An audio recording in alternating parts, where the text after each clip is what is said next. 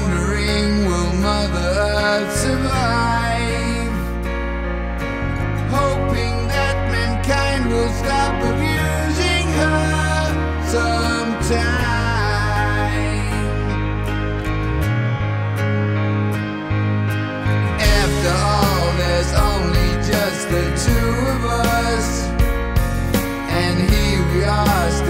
fighting for us.